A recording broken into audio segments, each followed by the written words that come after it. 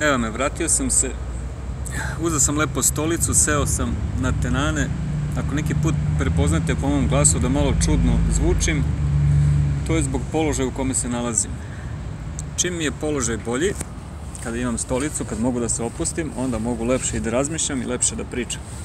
Neki put sedim kao gavran na ivičnjaku na ulici i onda sam sagnut i onda neko kaže majstore pričaš kao da si na samrti. Nisam na samrti, nego jednostavno taka je situacija. A odradili smo dva dela našeg rešenja. Drugi deo je imao fenomenalnu gledanost. Mislim da je bilo preko 100 pregleda. Sad vi ako mislite zašto kažemo da je fenomenalna, pa zezam se eto, da sam stavio nešto značajnije, neko poznatije ime tipa Srđan Nogo, Branko Dragaš, Dejan Lučić, tu bi nekoliko hiljada pregleda bilo, ali kao što sam vam već pričao u prošlosti, nećemo da pričamo o ovom ili onome, nego ćemo da pričamo o rešenjima. Pa sad, ako to rešenje se svede na to da dvoje ili troje ljudi to vide kao rešenje, a ostali ne vide kao rešenje i nemaju vremena da gledaju i ne interesuje ih, to znači da to jednostavno nije rešenje. Opet ponavljam, ko što je neko rekao, ako svi čekamo spasioca, nismo robovi. Ako se pojavi spasilac i spase nas, mi smo u suštini i dalje robovi, zato što ne može jedan spasilac da radi za sve nas. Znači, jedino kada mi nešto sami budemo uradili, mi nećemo više da budemo robovi. Kad će to da se desi, ja ne znam. Često me neki put ljudi pitaju kako bih ja uradio ovo ili kako bih uradio ono. I sve što bih ja uradio, ja njima objasnim da meni trebaju ljudi, da bi bilo šta uradio, ne mogu sam. Sam mogu da radim samo za sebe, za svoju dobrobit, ali za opšte dobro ne mogu toliko da uradim. Mogu ja da podržim dvoje, troje, četvoro, petoro ljudi, ali može srpska nacija da bude na mojim plećima i da ja tu kao vučem, a svi da se koriste. Bilo je dosta prilika u bliskoj i dalekoj prošlosti da jednostavno pojedinci gledaju svoj interes, a očekuju od mene i od drugih da rade za opšti interes, što je malo bez veze. U svakom slučaju, ono što se sad dešava u Beogradu, verovatno mi je poznato, Srđan mnogo radi na onome što je obećao, kakav će rezultat da bude neću da prognoziram, biće opet da sam ptica zloslutnica. Slušao sam malo monaha Antonija, vrlo zanimljiv lik. Jedna osoba mi je rekla, ti me posjećaš na monaha Antonija, samo ne nosiš mantiju. Pomenuo je Petra Čelika, Dunđera, Dejana Lučića, Gorana Jevtovića, nekog lika iz sistema Info YouTube kanala, nagradi čovjek njih 5-6, ne kažem ja da nisu zaslužili, ali bilo mi zanimljivo kako priča o njima. Otprilike kako bih i ja pričao. A možda se jednog dana upoznam sa monahom Antonim, ali verovatno ne bi, zato što verujem da naši pogledi na pravoslavlje Boga i sve ostalo bi mogli malko da budu različiti, pa bi mene isto naduvao kao i ove poznate likove, ali u svakom slučaju sve što monah Antonije radi i priča, ja podržavam on mi deluje da je jedina zvezda na srpskom nebu ovih dana, zato što je konstantan, ne obećava, nego jednostavno radi. Vezano za srpsko rešenje, prošli put sam pomenuo knjigu, pokazao sam vam koricu, krijemo autora, krijemo knjigu, nije ni bitno, bitne su ideje. Po toj knjizi rešenje za srpske boljke bi bilo ograničenje državne službe na 8 godina za većinu profesija. A zašto mi uopšte želimo da se Srbija menja? Zašto želimo da se promeni? Ja pretpostavljam da većina ljudi u promenama traži bolje ekonomske uslove za život, bolji život, više dobara, da bismo bolje živeli, da bismo lepše živeli, u današnjem svetu ono što je bitno je ekonomija. Znači, privredna aktivnost koja donosi rastu dobara i usluga, proizvodnji dobara i usluga, vodi do višem životnom standardu. Razlog zašto nas je svekih 100.000 manje u Srbiji svake godine je upravo to želja za životnim standardom, kao i želja za pravdom koje u Srbiji nema. Hajde u ovome prilogu da se fokusiramo na tu ekonomiju, na taj životni standard. Znači, da bi se u nekoj zemlji živelo bolje, ekonomski bolje, s moje tačke gledišta mora da se podigne proizvodnja. Proizvodnja dobara i usluga. I dobra i usluge su proizvodi. Znači, da bismo živeli bolje, moramo da proizvodimo više. Da li će jedan seljak da proizvede dve tone jabuka ili jednu tonu jabuka, razlika je drastična. Jer čim ima više proizvedenih dobara, on više može da razmenjuje i više može da se raspodeli na ostatak naroda. Ako svako od nas proizvede više, imaće više za raspodelu.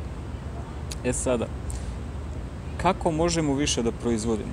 Znate da je u komunizmu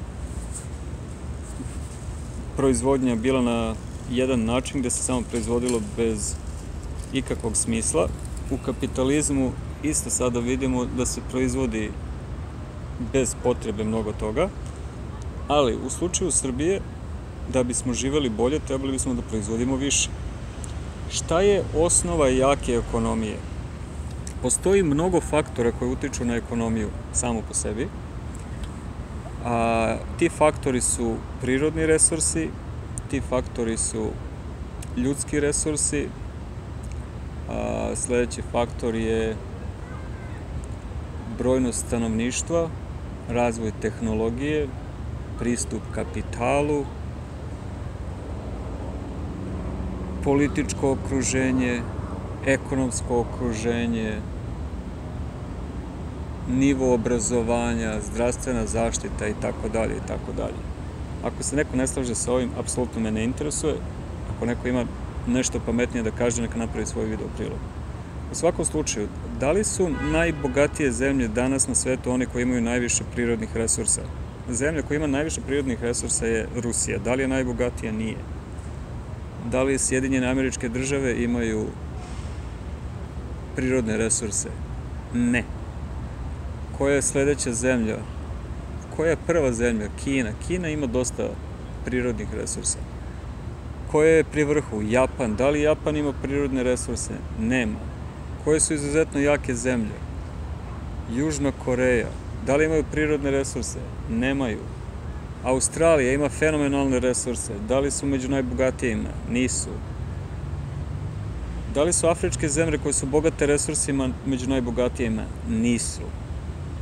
Šta bi to onda moglo da bude što diže ekonomiju? Šta je to bitno za ekonomiju? Kao što smo rekli, to je mešavina svih ovih stvari, ali ja bih izdvojio jednu koja se isto pominje u knjizi, a to je motiv. Bez ljudskog motiva svi ovi resursi su totalno beskorisni. Ako želimo da se Srbija ekonomski oporavi, moramo da stvorimo uslove, a objasnit ćemo i kako, da ljudi imaju motiv da rade i zarađuju. Motiv se nalazi svugde u društvu. Ono kako knjiga objašnjava je da kao što postoji borba između dobra i zla, tako u ekonomiji postoji borba između proizvodnje i potrošnje. Ima onih koji proizvode, ima onih koji troše. Idealna situacija je da oni što najviše proizvode mogu najviše i da troše. Zato što će oni prirodno da budu motivisani da proizvode još više, da bi imali više da troše, ali bi društvo imalo od toga koristi. Problem u Srbiji, ali je to problem koji je i u svim drugim državama na svetu u većoj ili u manjoj meri, je taj što postoji nesklad između proizvodnje i potrošnje. Dakle, oni koji proizvode zadržavaju manji deo rezultata svoje rada i svoje proizvodnje, a oni koji troše otimaju rezultate rada nekoga drugog. Kako to vidimo? Pa primjer radio knjiga navodi da u državnoj službi za državu na neki način, da li u proizvodnji ili u uslužnoj delatnosti, u administraciji radi oko 800.000 ljudi. Kada pogledate brojke koliko ima zaposlenih u Srbiji, onda vidite da jedan dobar deo njih radi u državi, a država ima oreol potrošača. Što će reći? Neko za te potrošače mora da radi. Uvek kada raste broj agencije, kada raste broj zaposlenih u državnoj službi koji ne radi posao od koristi društvu, oni su u suštini potrošači. I imamo nekoga ko je proizvođač, da li je to seljak, da li je mali privrednik ili neko drugi. Ovi u državnoj administraciji po osnovu vlasti prisvajaju rezultate rada onog neposrednog proizvođača. To ubija motiv proizvođaču. Jer ako on ne zadržava dobar deo rezultata svog rada, ako neko otima, on će da spušta svoju proizvodnju na minimum, onoliko koliko njemu treba, zato što ne želi da neko živi od njegovog rada. I šta dolazimo, u kakvu situaciju dolazimo i šta se dešava? Dešava se da oni koji su naučili da troše, oni ne mogu da se prezupče, da se preume i da počnu da proizvode. Kad neko nauči na lagan život, on će da pokuša da održi taj lagan život po svaku cenu. Državna administracija će da radi sve što je moguće da porezima, da nametima i ostalim vrstama otimačine otima od proizvođača rezultate njegovog rada. Ako imamo više lopova nego oni koji stvaraju nešto, u jednom trenutku neće biti ni za jednog ni za drugog. Ako ste ikada igrali futbal ili košarku, znate da je dovoljno da jedan u ekipi ne daje sve od sebe i ekipa može da izgubi. Ako u jednoj državi jedan dvoje radi, a četvoro se izdržavaju na osnovu privilegije u državnoj administraciji, pre ili kasnije će ta ekonomija da krahira. Kako možemo da oporavimo ekonomiju? Ja sam slušao mnoge ekonomiste u Srbiji kako bi oni uradili određene stvari. Kako knjiga navodi, sa čime se ja naravno slažem, je da bi rešenje bilo ne u motivisanju proizvođača direktno, ali indirektno.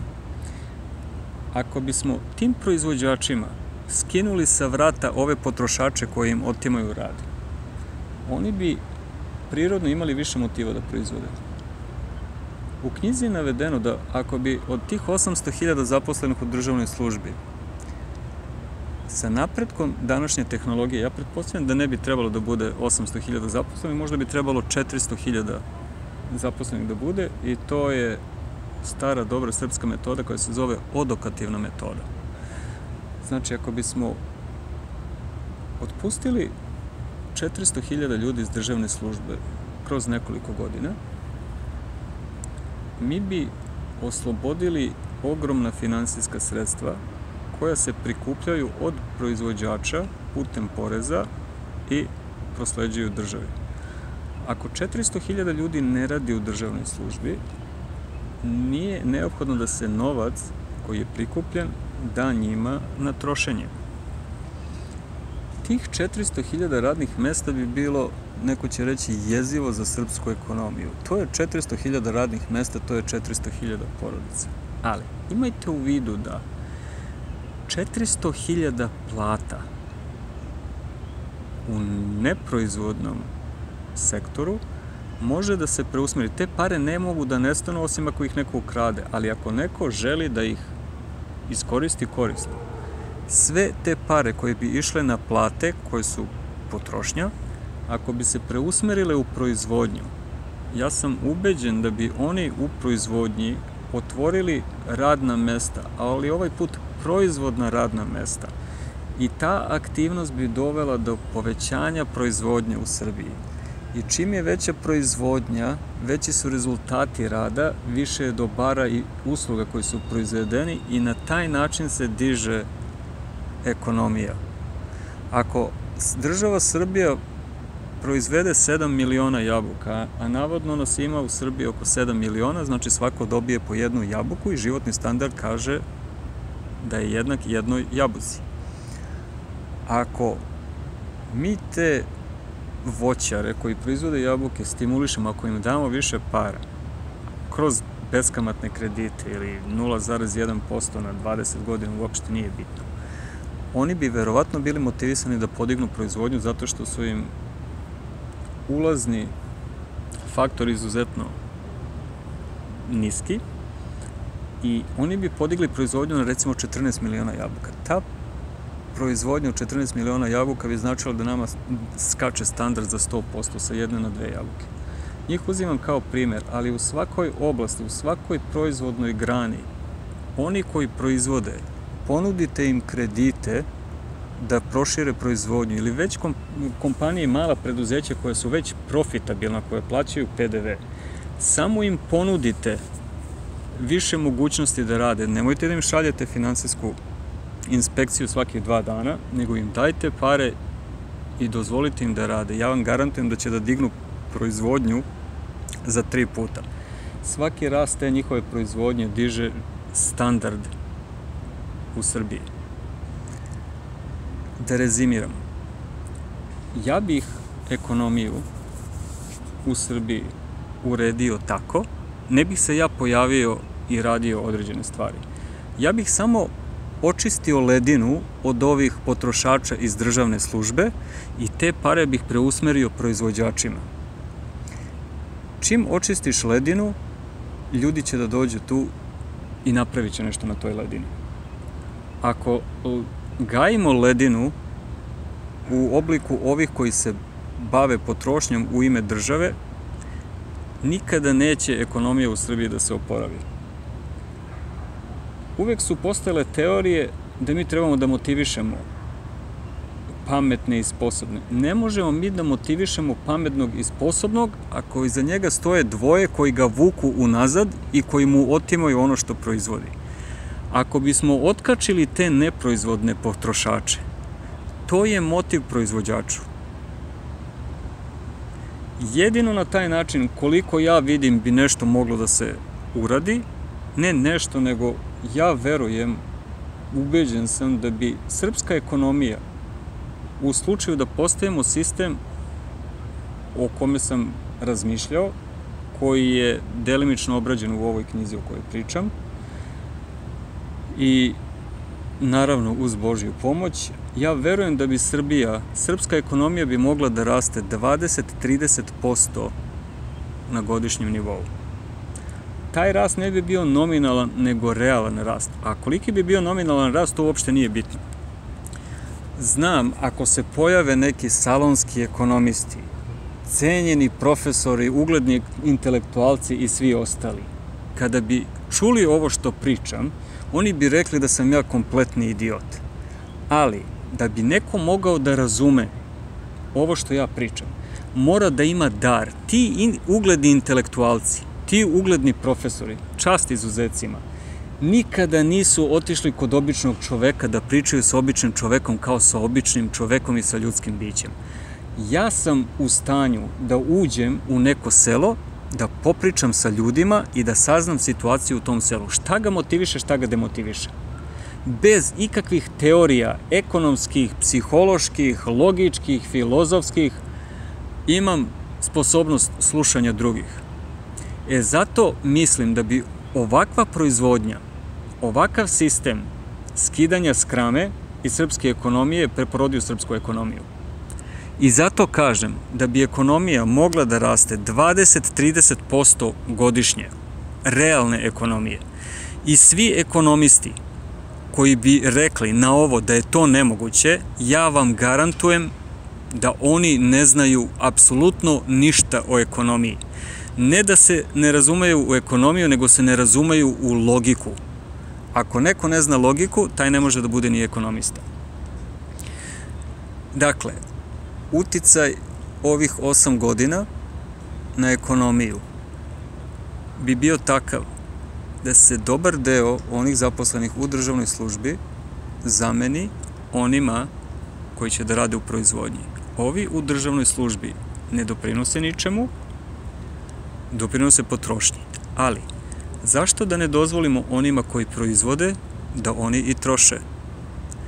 Znate kako? Nije lako da se zaradi konj, da se zaradi sedlo, da se istimari konj i da se spremi konj za jahanje. Kada neko sve to uradi, nema potrebe da dođe neko iz državne administracije i da jaše tog konja. Onaj ko je zaradio konja, onaj koji ga istimario, onaj koji ga je osedlao, on može i da ga jaše. Što će reći? Neće potrošnja u Srbiji da propadne, ali će da troše oni koji zarađuju, a oni koji ne zarađuju mogu da se prebace u proizvodnju da proizvode, a ako ne žele da proizvode, što se mene tiče, neka se sami snalaze. Ovo je treći deo rešenja. Sledeći put ćemo da pričamo o uticaju na političke stranke ovog modela od 8 godina i kao što knjiga navodi, 8 godina će da bude eliksir za smrt svih političkih stranaka onakvih kakve danas postoje. Čujemo se za par dana. Ako imate pitanja, ostavite u komentarima i nadam se da ćemo ovaj put da prebacimo više nego 100 pregleda od pre neki dan. Sve najbolje.